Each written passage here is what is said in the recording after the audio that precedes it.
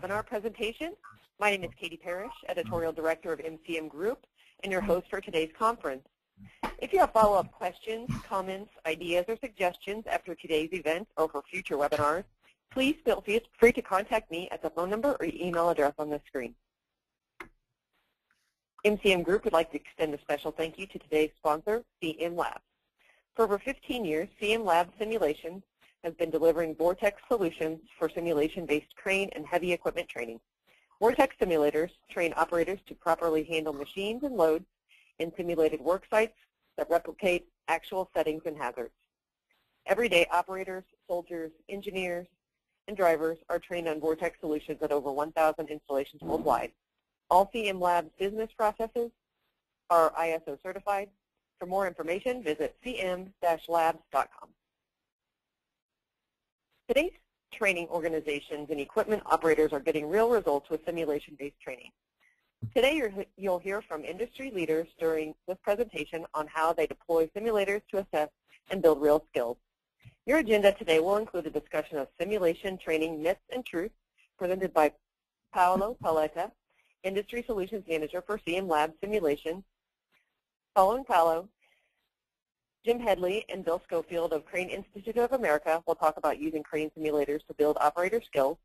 Then Steve Fryer of NCSG Crane and Heavy Haul will discuss training and competence in the 21st century. At the end of the webinar, we will hold a, question and answer session. If you have questions for our presenters, please type them in the question box on your screen. We will answer them at the end of the, at the, end of the webinar. Additionally, this presentation will be recorded and can be accessed this week on safetyconference.com and the MCM Group YouTube channel or the Crane Hotline website. Addresses for both will be shown again at the end of the presentation. Also, portions of this webinar will be interactive, and we want to hear from you. At a few points during the webinar, we will be polling you for your opinion on a number of questions. So please look for those to pop up uh, during the presentation. Should look like that. I'm going to pass the controls over to Paolo, and uh, when you're ready, you can get started.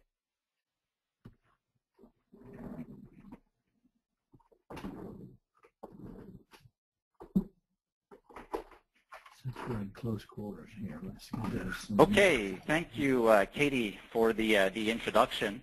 Um, so um, most of you are probably familiar with uh, training simulators, training simulators, but perhaps have some doubts as to their effectiveness. So before we meet our distinguished speakers, I'd like to spend a couple of minutes debunking some uh, common myths that surround the use of simulators for training. So myth number one, it's just a game. Uh, we hear this uh, now and then. People who are unfamiliar with the technology sometimes say it. But today, simulators can truly replicate the real behaviors of cranes and heavy equipment. Simulators are capable of highly realistic rigging, cable, load, and soil dynamics. With this, they offer real-world training and can provide the objective criteria needed to fairly evaluate operators. So today, simulators are not games. They are, in fact, some pretty serious uh, learning tools. Let's, uh, let's take a quick look at a well-established example. In the airline industry, uh, pilots take responsibility not only for complex and expensive equipment, but also for lives. Simulators can train pilots for non-typical events like machine failures and water landings. Pilots even clock time in a simulator that goes towards maintaining their actual uh, pilot certifications. The same can apply to crane operators. They're responsible for very expensive equipment, as most of you know, and they play a critical role in the safety of everyone on the job site. In a simulator, operators can train to deal with non-typical events such as sinking outriggers, broken slings, unexpected weather, and other machine failures and worksite hazards.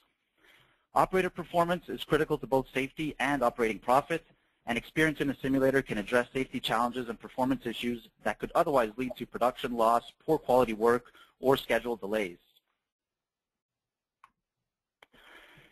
In many industries, simulation-based training has been shown to lead uh, to proficiency in less time. For example, a study recently published in Chief Learning Officer magazine determined that it, uh, pilot training programs that used simulators led to similar levels of proficiency in 13.6% less time than uh, equivalent programs that did not use simulators for training. So similar type of results were found in medical training, equipment maintenance training, truck driver training as well. So it's no longer just a game. Operator training simulators are becoming a primary tool for systematically addressing operator competency. And if you haven't thought of integrating simulators into your training program yet, you will be left behind. Myth number two, it doesn't feel real. It doesn't feel like the real thing. It may not be the real thing, and it's not meant to replace the real thing, but simulators have reached a level of realism that makes them an indispensable component of a complete and modern training program. Any machinery can be simulated, from drill rigs, concrete pumps, mobile cranes, tower cranes, locomotive cranes, overhead cranes, and many, many more. Simulators can reproduce potentially hazardous situations, which you could never do on a real crane, for example, working around power lines. Any weather condition can be simulated, such as snow, rain, wind in any direction, constant wind, gusts of wind, moving clouds, fog. Can even change the position of the sun in the sky, which will impact uh, projected shadows. You can even train the entire lift team with integrated signaler training and tandem lift capabilities using two integrated simulators. Hmm. Simulators can be integrated to actual crane cabs, crane controls, LMIs, and crane computers. The more advanced simulators use high-fidelity physics engines. This is a piece of software that can accurately replicate things like pendulum swing, boom flex, engine torque, and more. This ensures that simulator seat time results in real operator skills and not just controls familiarization. Motion platforms also add realism to the learning experience and allow students to feel the crane by the seat of their pants, as they do in the real world. So with today's computer technology, simulators can offer an extremely realistic learning experience. Myth number three, they're expensive. Well, if you consider the potential return on investment that simulators enable, the true costs of using simulators are minimal, in fact. Firstly, simulators are available for all budgets, from desktop systems for the classroom to, to immersive full mission simulators. Simulator, simulators allow you to cut time from real machines, so they effectively lower fuel costs and reduce wear and tear on expensive equipment. Plus, for companies such as crane rental and lift companies, you'll be able to keep your fleet in production while operators train on the simulator. So in addition to fuel cost savings, simulators can also free up instructors to focus on other higher value-added tasks because trainees can work their way through simulation exercises at their own pace and on their own. So to, to wrap this up, consider that as an integral part of a complete training program, simulators can produce safer, more effective operators who will further reduce your costs while having less accidents and lifting more efficiently. So with that, Katie, we can trigger our first uh, poll.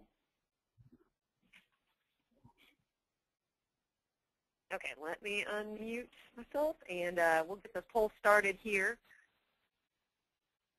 All right. We're going to launch the first one. Hmm. So you should see that on your screen. It's a blue screen.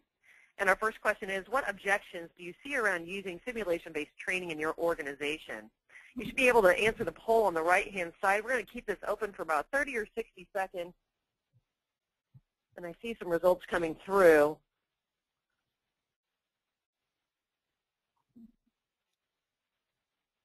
Good, I'm glad this is working. This is the first time we've done a poll, so uh, if you've been with us on a few other webinars, um, it's a new feature for us. All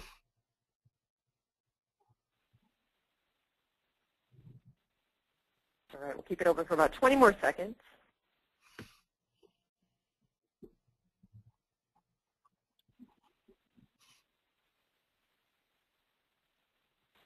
All right, folks, last chance to vote. And then I will uh, close the poll, and we'll see the results.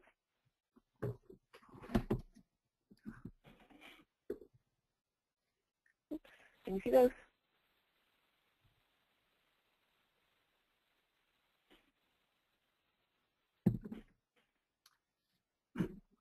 Okay, they should be on the screen now. So uh, interesting result then. So the uh, the biggest objection is uh, cost is, is uh, too high. And just to reiterate uh, what I mentioned in uh, one of my one of my myth slides, um, you know there are simulators for all budgets, from desktop simulators to immersive simulators. And if we look at the long-term return on the investment in simulators, the costs do become significantly significantly reduced. Great. okay, with that said, We'll pass that on to Jim Headley. He's our next presenter. Uh, he's sitting in with uh, Bill Schofield, and I'm going to pass the controls over that way. Hopefully it goes live. Oops.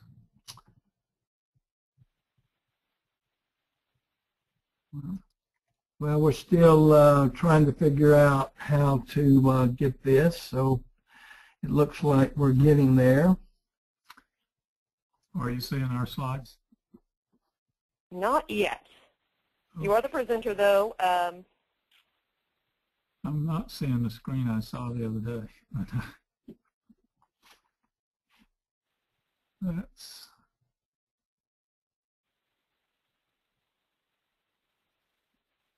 show. Okay, sorry. Okay. there you go. Oh, yeah. Okay. Okay. Um, and I should be able to hit the right. The right one or the left? No, here at the right. Okay. Okay. Uh, welcome everyone. I'm uh, Jim Headley, and uh, I'm a little hoarse today. We've had uh, quite a swing in the weather and the temperatures, and I am uh, currently in a very cool 68 degrees in the greater Orlando, Florida area, and I guess it was about 80 or 90 a couple of days ago. But um, appreciate everyone uh, attending, and I guess this is, uh, hit the right one? Okay, I'm sorry. Okay. Well, hold on. We'll get this going just a second. Uh,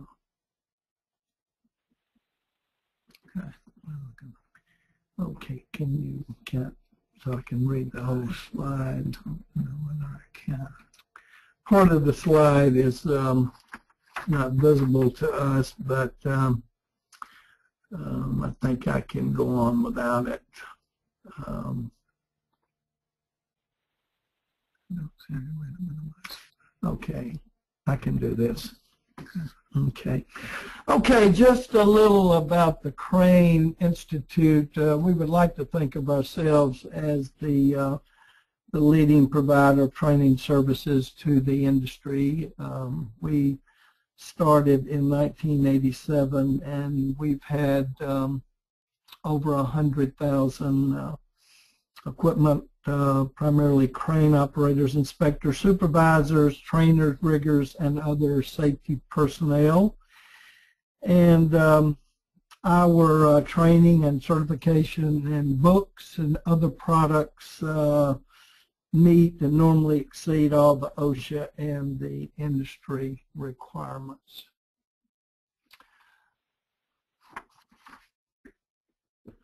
And we strive to make the lifting industry one of the safest and liability-free um, workplaces. Uh, can, well, we're missing a slide here.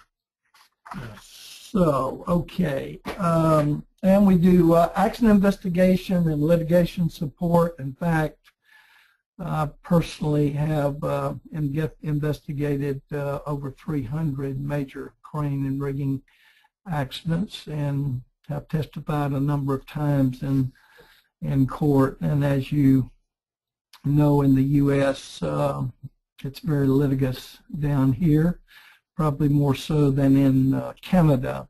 But we do site safety assessments and audits, audits of policies and uh, procedures, and we do consulting uh, regarding the uh, ASME ANSI standards and the Canadian standards as well. And in doing that, we uh, we uh, provide interpretation and application of those standards.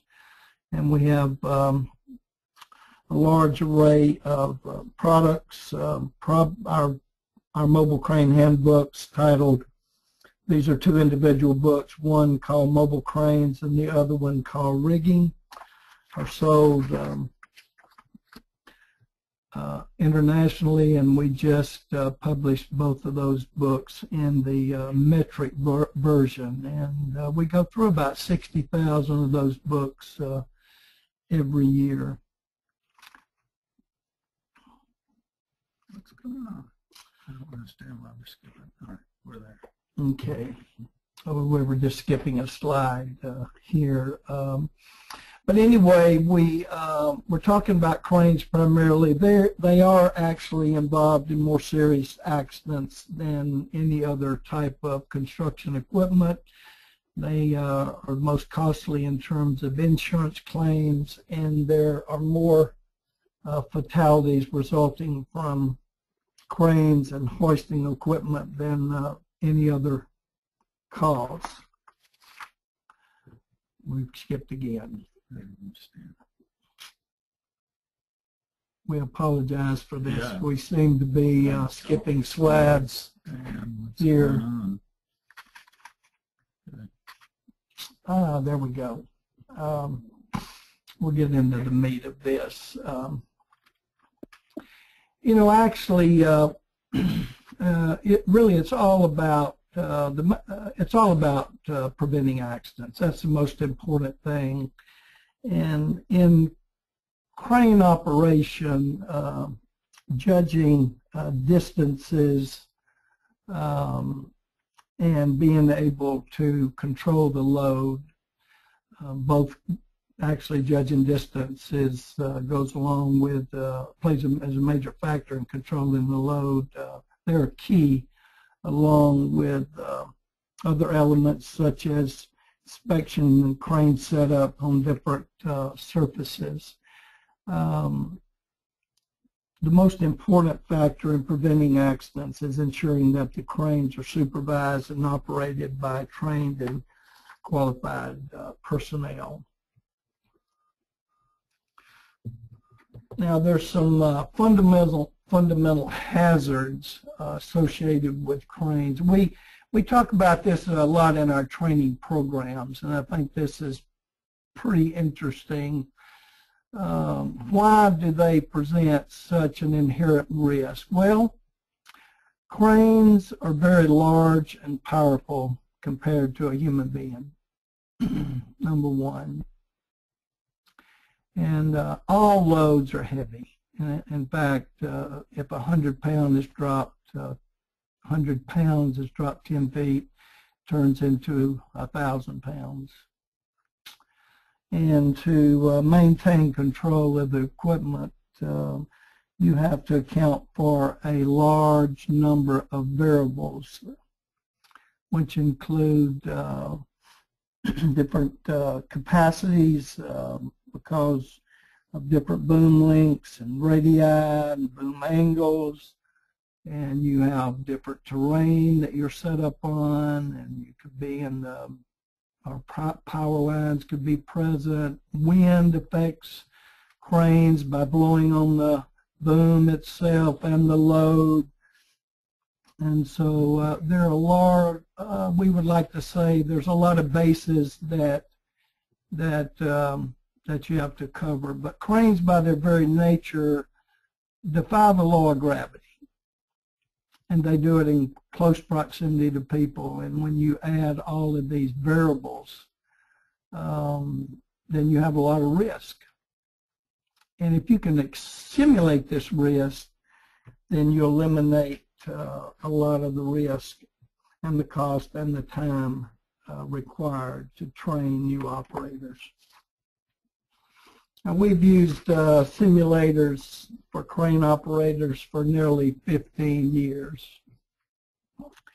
And the Vortex simulator that we currently have is used as a learning tool for students who are completing classroom instruction, but, but who, uh, who haven't yet progressed to working with the crane. And added to that, uh, we not only use it for those personnel, but uh, we use it for uh, people that are currently operating cranes and um, just need some adjustments or need some of the uh, the rough edges to uh, be knocked off of their um, their operating skills. Um, this is pretty interesting here. we start off in the classroom and we cover, you know, the theory, safe operating procedures, standards, regulations, um, how to interpret load charts. Actually, our classes um, uh, a lot of time is spent on the interpretation of uh, load charts, and we cover some basic rigging. I'm just talking about our operator classes. But uh, the classroom is safe, it's controlled, it's enclosed, and it's it's it's a comfort comfort zone. Then we uh, we take them um, intermediately uh, uh, when they're in the classroom, and we put them on the uh, simulator. And um, and like I said before, it's for novice people, experienced people, and they're able to practice and hone their skills. And you know, actually, it does build a lot of uh, confidence, and um, it gives them um, a lot of comfort. Um, and you know, a lot of times when when they come in, they see the cranes parked outside. You know, you can tell that they, you know, they tense up and they get a little nervous. And we're able to test them, assess their skills on the simulator. And then we take them from there and we put them uh, on the uh, on the real equipment. We have three different cranes here, and um, depending on the type crane that uh, they'll be operating back on the job site, um, will that will do um, um, depends on how much time they spend on what individual crane that we have here. Now, one of the things that simulation does is it um, it bridges the gap. It reduces the time that it takes for a person to go from the classroom and get to the place that um, he can operate the crane in the real world where it's full of, um, of real experiences as uh, those of you that, that are listening uh, that have operated cranes are well, well aware of. So that's that's um, they've started off in a real comfortable, uh, risk-free environment, and uh, they learned a number of things uh, on the simulator that they will um, um, that they will have to do on the real crane, and now they're out on the real crane, and this this really does drastically reduce the time uh, that it takes for a person to um, become experienced enough uh, to be allowed to operate uh, the crane and the uh, on the on the on the real job site.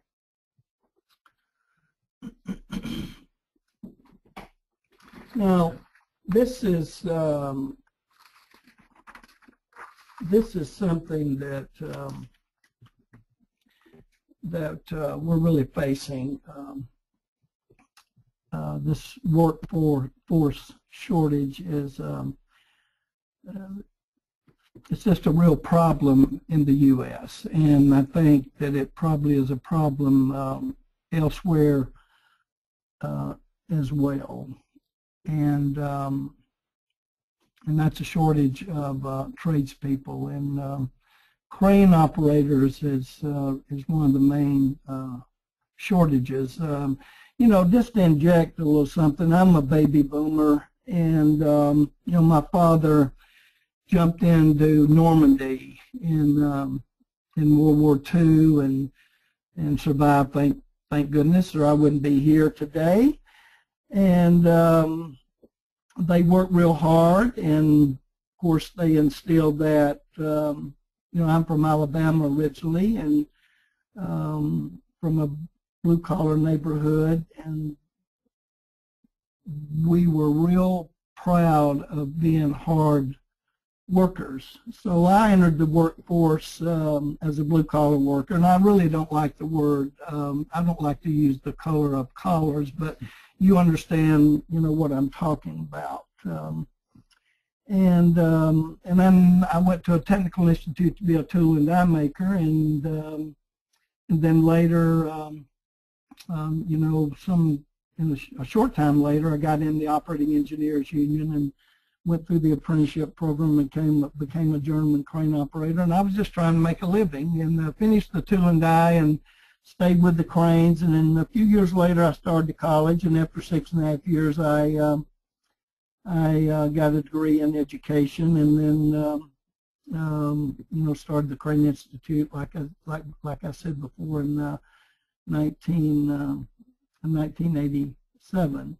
But um, my generation has um, uh, inaccurately um, put too much emphasis on going to college.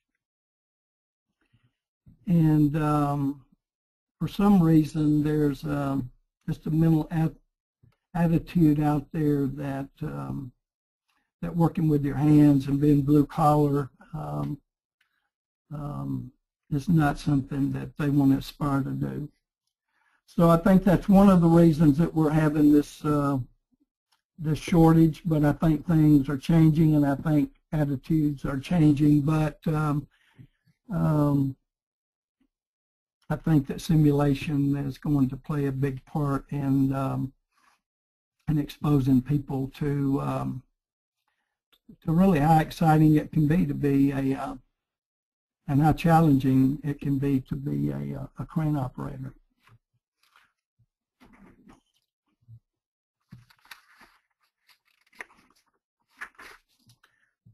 Um, here's some of the practical things regarding uh, how simulation has helped us.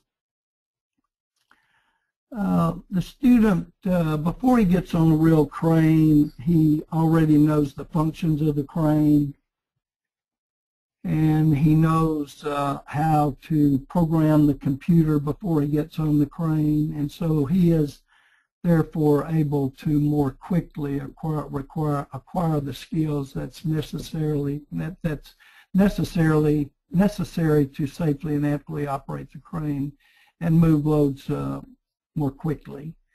Um, and um, you know, moving loads and operating the crane at a is um, at an adequate speed is um, is something that's required. You know, time is money.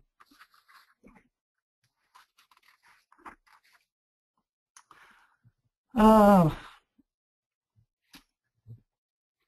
another um, aspect um, of simulation is that um, a student um, can make mistakes without the fear of an accident or um, the fear of damaging uh, the equipment.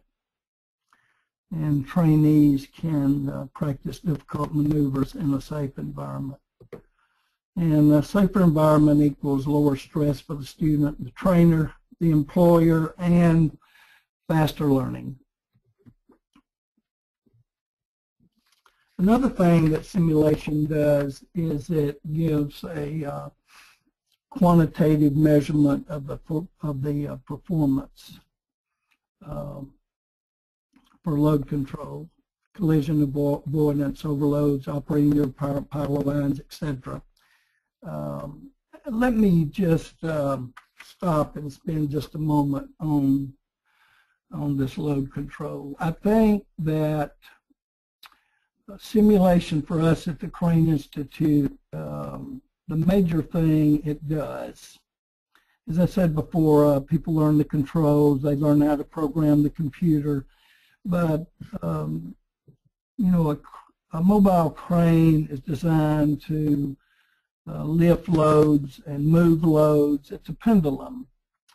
And so once you get the crane, do, do your uh, walk around or your daily or pre-op or pre-shift inspection, and uh, you get the crane set up properly, get it level with outriggers out um, if you have outriggers, and you're um, you're getting ready to operate the crane. And this is what it's all about. It's about being able to control the load. And it's a pendulum. And so um, uh, it looks easy, but it's not easy. It takes uh, it takes skill to be able to do that, uh, but that's the main. Uh, that's how that uh, that's how operators will be judged out on the work out in the workplace.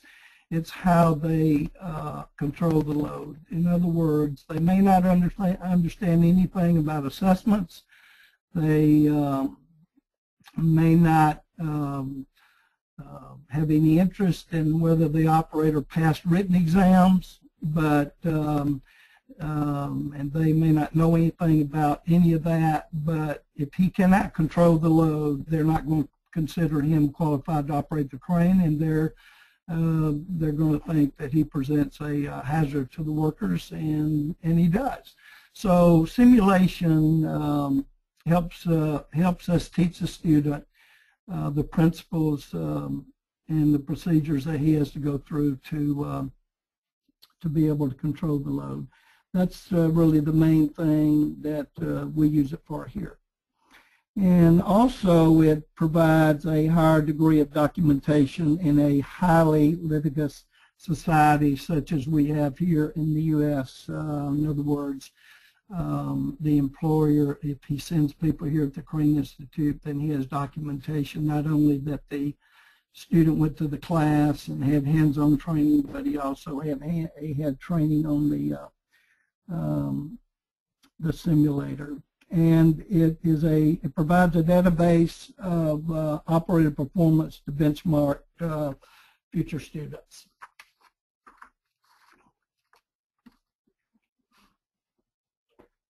So that would conclude uh, what I would have to say um, about how we at the Crane Institute of America use uh, the Vortex simulator.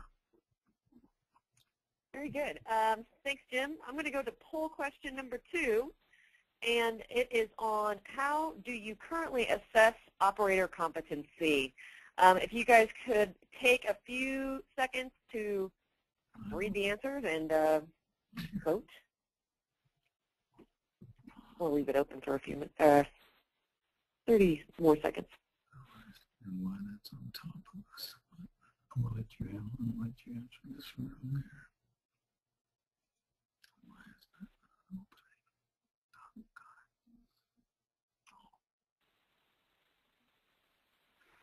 God. Excellent. Uh, Go we're, having, we're having a little problem with the slides here, um, but I'm going to uh, let Bill Schofield. He uh, he's uh, over our training and our uh, our trainers here, and I'm going to let him answer, um, or I'm going to let him speak to that if he uh, if you need uh, that to be spoken to. Sure. Um, five seconds, and I'll close this poll, and then you you all you guys will see the results, and uh, uh, you can make some comment on it.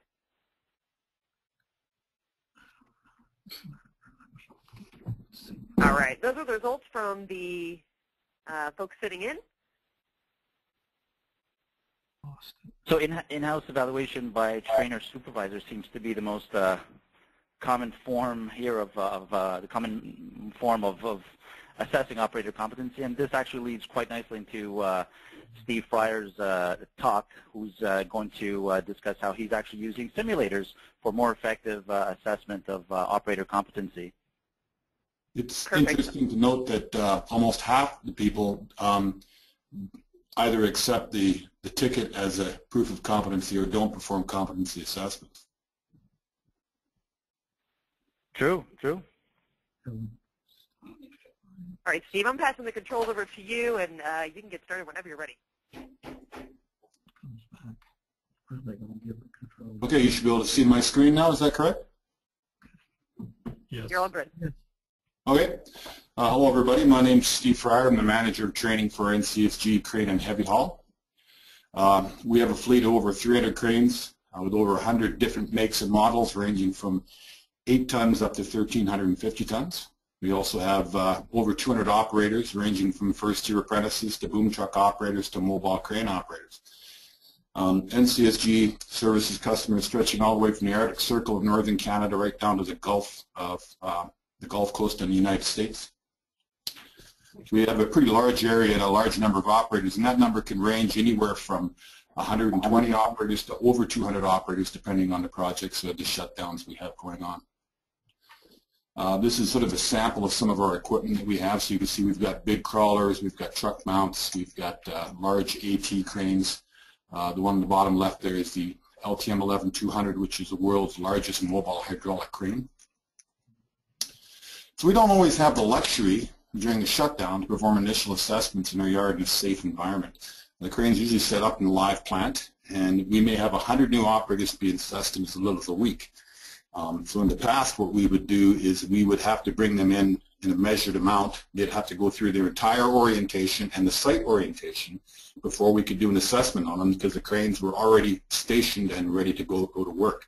So we may not find out until the guy's actually sitting in the seat of the crane in a live plant that the guy does not have the skill sets required to perform the task. In which case we start shuffling people around to put them in a uh, less hazardous spot, or maybe they might just sit on in, in the lunchroom for, for the shutdown, um, shifting them from uh, crane to crane to try and avoid having this become a problem. So it's obviously not the optimal way to be able to assess crane operators out in the field in a live environment. Uh, so what we do have is we have checklists that allow us to go through and um, and test people. But these are very yes and no questions and answers. So did they set up the crane level? Yes or no. Uh, was the pin in the hole? Yes or no. Was the correct configuration chosen in the LMI? Yes or no.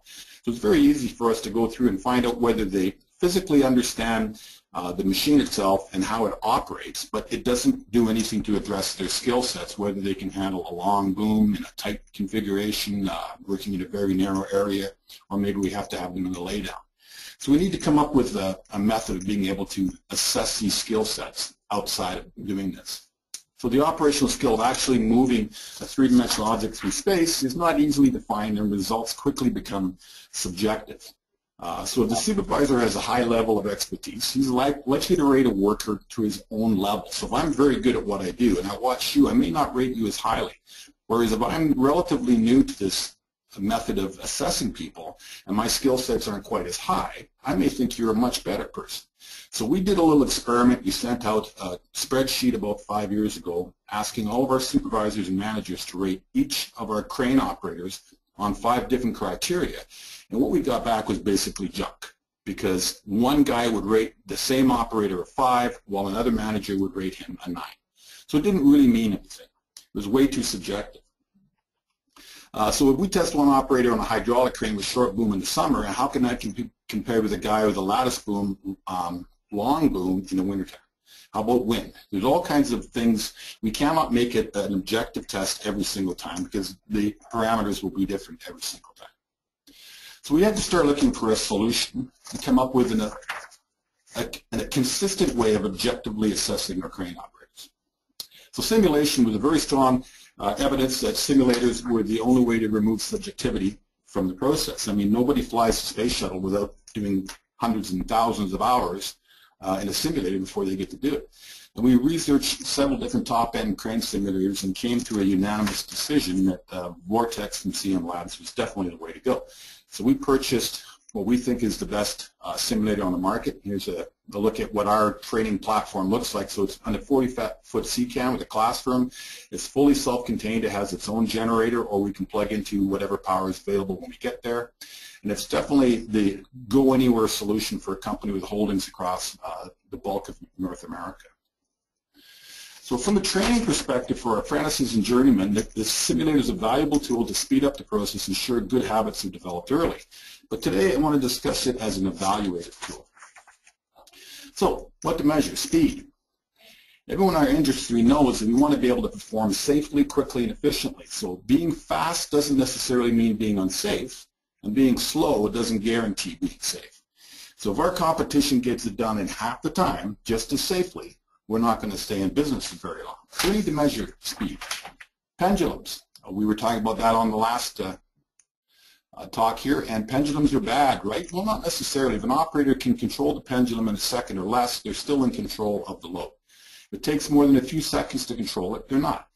And it becomes very subjective and hard for a human to judge consistently whether or not you're um, you're controlling those those pendulums, and how do we measure that um, if I give you a scale of 1 to 5, you may think the guy's in really good control, and I may think he's not.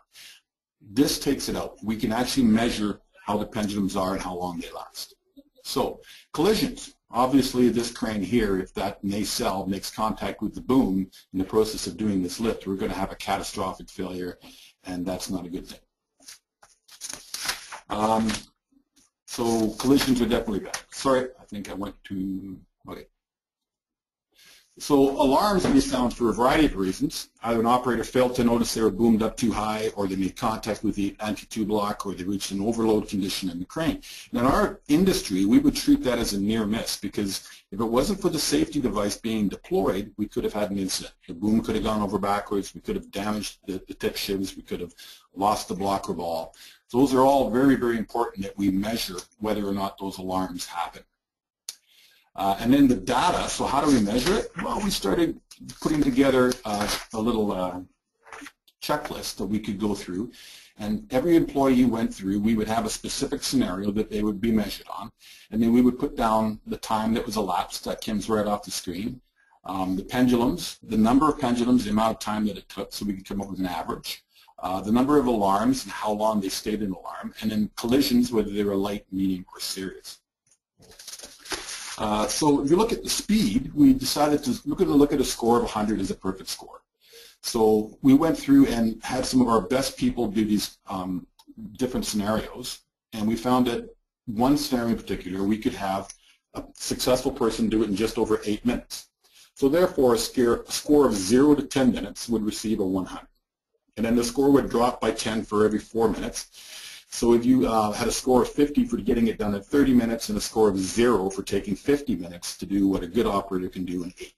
So that allows us to measure that. So the pendulums, our best people could perform the task in the appropriate amount of time with uh, very few pendulums that were quickly controlled in one second or less, or no pendulums. So we created kind of a sliding scale where a one pendulum to one second ratio is acceptable, and anything beyond that is not. So an average pendulum over one second is demerit from the score of 10 points for every second after that. So if you had a perfect time score with an average of five seconds, we would count only the four. So uh, 100 minus 4 times 10 was 40. So you would end up with a total score of 60 after you got your perfect score on the speed and your pendulums were counted in. Collisions, our best people could perform the task with no collision. So demerits are at 5 to 1 for a minor collision, 10 to 1 for medium, and 20 to 1 for major collisions. Alarms, once again, the best people could perform these tasks with no alarms. So tripping an alarm is the same thing as a near miss, as we mentioned earlier. Uh, so we'd be a 10-point demerit for each one of those alarms. So if you have an operator with no pendulums, collisions, or alarms, with a time of 9 minutes, they would score 100. An operator with a perfect time score, but an average of three seconds per pendulum, uh, one minor collision and one alarm would receive a score of 100 minus 20 minus 5 minus 10 or 65. So trying to gain that speed at the expense of smoothness and safety is not rewarded. So the intent then was to track it and make it something that the managers could look at and easily see where their people scored. And we had guys who thought their people were rock stars, only to find out that maybe they weren't. And after showing them this graph, some of them were saying, well, that explains why the clients have been complaining about this guy. So we plotted the data onto a spreadsheet, produced graphs for them to see. The top graph was a pre-hire for shutdowns employees, and the bottom one was for some of our regular employees. So it's not, not uh, all-inclusive, but it, it does give us a pretty good sample. The average scores for the new hires were 20 to 50, so those would be the blue lines.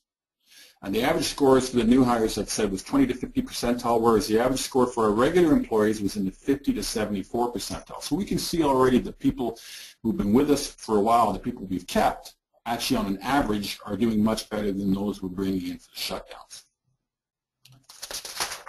So what do we do with these results? So there's two areas of concern immediately. How do we ensure that those in the bottom quartile of our existing employees get better? So we identify particular skill sets that are lacking in our current employees, allows us to um, have the supervisors and managers be informed on how to observe and correct those skill sets. We can also make initial corrections in the SIM uh, and then have follow-up by branch manager to ensure those skills uh, shortcomings are corrected. Um, and then if they want, we can also bring them back into the simulator and give them extended training in order to be able to correct those particular behaviors. Quite often we get guys who've been doing this for 20 years have got one or two bad habits that allow them to score really low. And if we can fix those two bad habits that they've had since they started, it'll make them a much better crane operator. So how do we ensure that new hires meet the same skill level we expect of our regular employees? So the numbers by themselves don't mean anything. If we go back to that one um, slide, you would notice that there was a couple of guys who scored zero. So right away, those guys have been flagged for us to say, hey, there's a concern. We don't know whether or not this guy is going to be able to do this shutdown for us because he doesn't seem to exhibit the skill sets we require. So rather than just send him home based on what we do the simulator, we would then test him on paper, check what his knowledge is, and then we would go out in the yard and have one crane we could actually just test his skill sets on in a safe environment. And on the last shutdown, we actually sent two people home um, that we'd never done before prior to ever hiring them. Uh, and we didn't have the luxury of doing that before. So having the simulator allowed us to do that and prevent that risk from being transferred to our client site. So uh, we're, we're required to train our regular employees because they already work for us. New hires are tested on different criteria, so we don't have to, we, there's no obligation for us to train a guy we just hired. Uh, or, or we're, were about to hire, put it that way. So it's much easier for us to test these people before we hire them. If they meet the requirement and we need them tomorrow, we can send them to work. If they don't meet the requirement, then we're going to go on to the next guy. Uh, so currently, we don't have any simulations that match the complexity of our biggest equipment. So in the future, we're, we're working with Vortex and CM Labs um, to be able to create some new cranes that we can use, some that actually match the equipment that we currently use. We're looking for stuff with long booms, long radius, working blind at heights, um, dealing with off-level loads, off-center, center of gravity. And as we help develop those scenarios and cranes, then they will also be available for uh, the rest of the public to use. So we look at the path forward. The big, hairy, audacious goal is in, in an ideal world, every crane company testing facility and hiring hall would assess their operators to exactly the same level with identical criteria. So that way, if I send an apprentice to work in another branch with a skill level of 60 to 70 percentile, the branch knows what they can expect from that person. If we call the hall and ask for an operator with a skill set of 80 to 100 range, we, for a very difficult job, we would get exactly what we asked for. Uh, so this would allow us to assess people accurately and end up with a known and reliable asset. And that's how NCSG uh, does our assessments with our crane operators. Thank you. Great job, Steve. We have one final poll question for you, and then I'm going to open up the question and answer session uh, with anything you all might have. Let's see here. Third poll. All right, we're going to launch that one. What do you think is the biggest potential benefit of simulation-based training? If you want to put your uh, vote in now, we'll hold it open for another 45 seconds.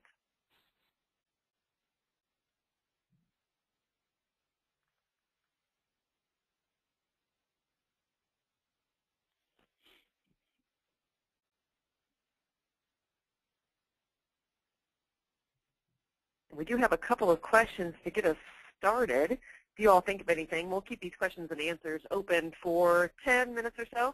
And um, if something comes to mind after this poll goes live, we can answer those too. All right, you got about 10 seconds to vote. I'm liking these polls.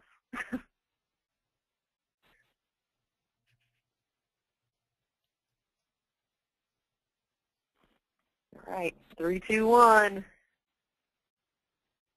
Let's share these results.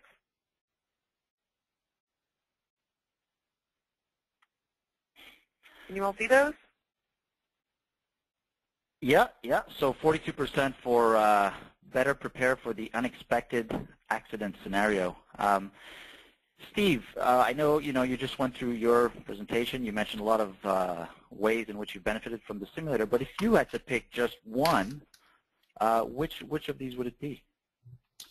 Um, I would sort of that would be between can learn skills faster and objective assessment. For us, like I said, because we can uh, go up and down by as many as 100 operators in a short period of time, um, we've had a problem being able to get objective assessments done in a timely fashion um, that would prevent us from putting um, people with who are unskilled in those high-risk areas. So I would tend to lead towards the objective assessment. And of course, it, may, it would depend on the size of the company. So if you're a smaller company, it's much easier for you to get that objective assessment. But when you've got 200 operators plus, uh, you need to have a method that's a, a little more objective, I think. Excellent. Thank you. Very good. Okay, folks, um, I'm going to go ahead and start asking some questions here and um, get this going. Um, Paolo, can the simulators be developed for a specific model? I know Steve mentioned uh, maybe going to some larger cranes. Um, can you kind of explain that a little bit? Uh, certainly. I mean, uh, you know, the simulators can be developed for uh, any type of, uh, of uh, crane and heavy equipment. Uh, right now, you have simulators for um, for mobile cranes, mobile hydraulic cranes, different types of uh, crawler cranes, different uh, different capacity cranes, uh, tower cranes. Um, there are also simulators for uh, machinery such as drill rigs and concrete pumps. So you know, essentially any type of, of, crane and heavy equipment can actually be developed and offered as a, as a simulation-based training tool. What about smaller equipment like an aerial work platform or a forklift? That too, that too. Um, yeah, that kind of equipment uh, can also be uh, can also be provided. There are simulators available today that uh, that offer training modules for for smaller types of uh, machinery, such as aerial plat platforms. Okay. Um, at some time, point in the future, will certification testing be available in a simulator? That might go to a training training company. Well, um, I think that's uh, that's um, what's available today in uh, simulators used for uh, crane operator uh, training and certification.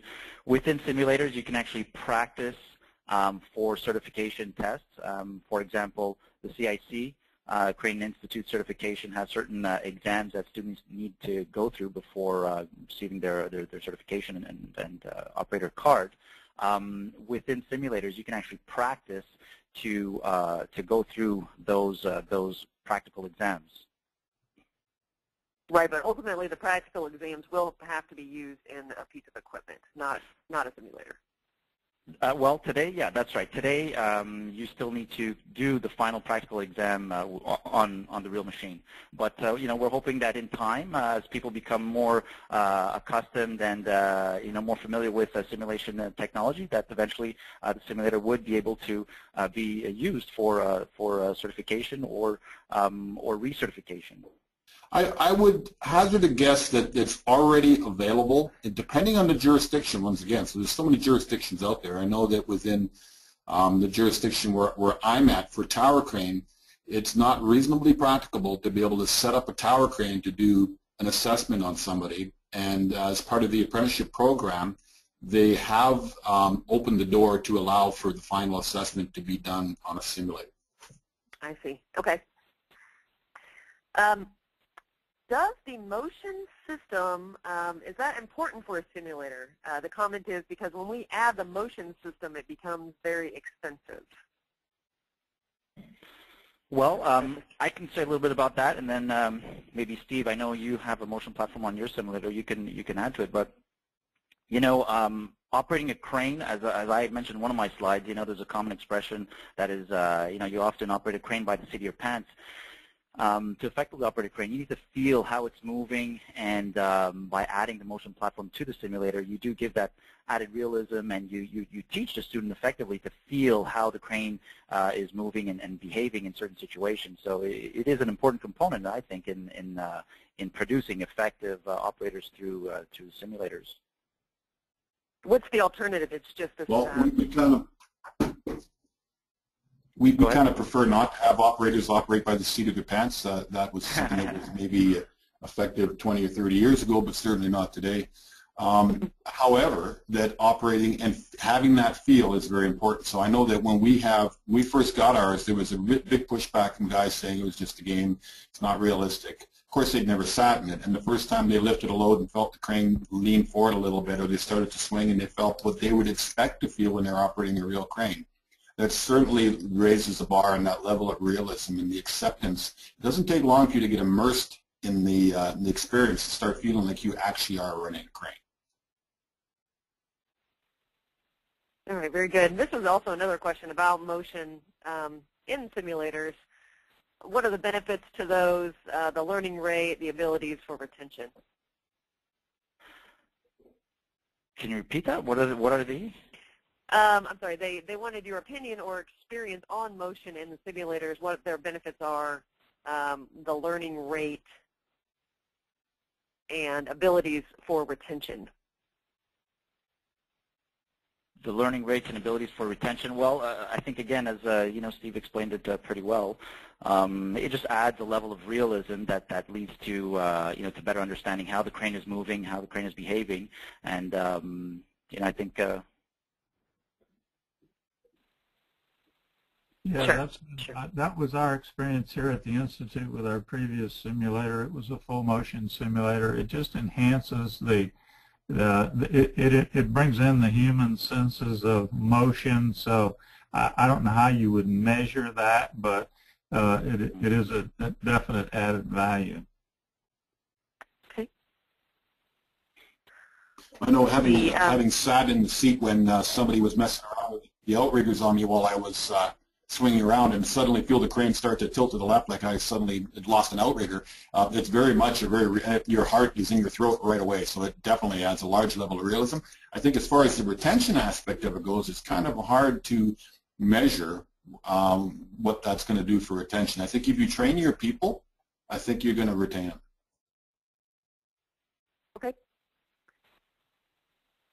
What uh, what percentage of training time can you replace on a real crane um, by using a simulator? Well, what I what I've seen in speaking with in in, in my experience, uh, some of our customers, typically you can you can you can um, you can reduce uh, time on an on the real crane by perhaps you know 15 to 25 uh, percent. So you know up to a quarter of the, of, of the time on on real equipment you can actually attribute to a simulator, and you can cut from use uh, from using on on real machine. Okay. Um, and final question, this is another about the actual uh, simulator. Um, monitors, how many monitors is your best choice for a simulator? What, what are your, Well, there, The I wouldn't say there's a, and- there is a, I wouldn't say there is a best choice. It really depends on, on budgets and, and particular needs. Uh, but you know, there are simulators that uh, that have a single display, uh, all the way to simulators with uh, you know up to five, maybe even more displays uh, for a more immersive experience. Um, so it can go from you know one to multiple simulators, uh, multiple displays. Sorry. okay. All right. Um, I don't think we have any additional questions to ask. It's 2 o'clock and we'll wrap this up. But if you have additional questions, you can shoot off uh, an email here to me. Uh, my email address is on the screen. Phone number is on the screen, and I can direct those questions to the best person to, to answer them for you. Um, otherwise, this presentation has been recorded. We'll post it on our YouTube channel this afternoon and get that uh, available for you all. And um, again, thank you for attending today. Thank you again to CM Labs and uh, Steve Fryer, Paolo, Jim Headley, and Bill Schofield for your time today. And uh, any additional questions, let us know. Otherwise, have a great week. Thank you very much. Thank you.